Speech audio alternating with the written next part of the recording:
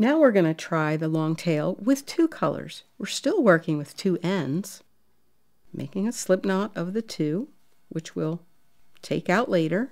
And this is a great way to have a colored edge with different colored stitches on the needle.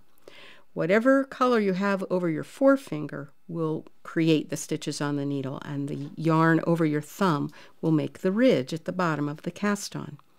So we're still creating the stitch just as we did before, inserting the needle knitwise into the loop on the thumb, reaching over and behind the yarn that's on the forefinger, and bringing it through and tensioning.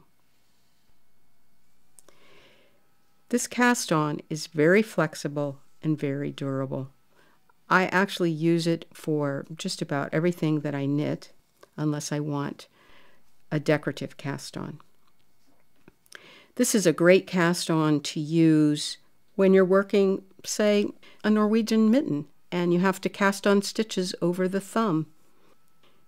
This helps to bring both of the yarns across that gap and then you can continue on in pattern.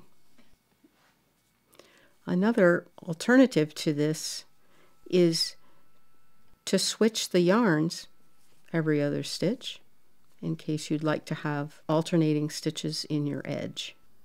This is a fun cast on for, say, the tops of socks, beginning of a mitten.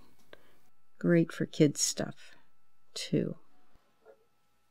When you've achieved all the stitches that you want on your needle, you can break off one yarn and continue with the other yarn, or you can leave both attached if you're going to be working stranded knitting.